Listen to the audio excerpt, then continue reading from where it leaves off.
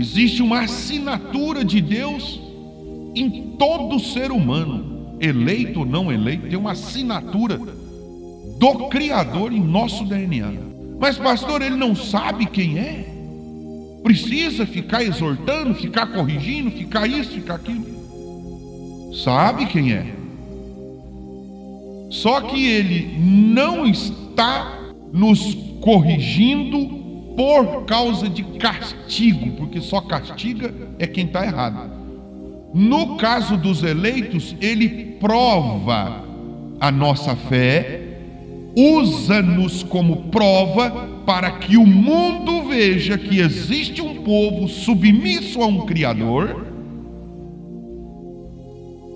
não devoto a santos, mas voltados a sua atenção e a sua vida para o Senhor Jesus Cristo.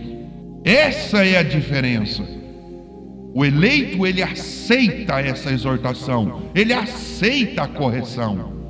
Ele não é soberbo, ele não é teimoso, ele não usa de sua autoridade, de sua posição social.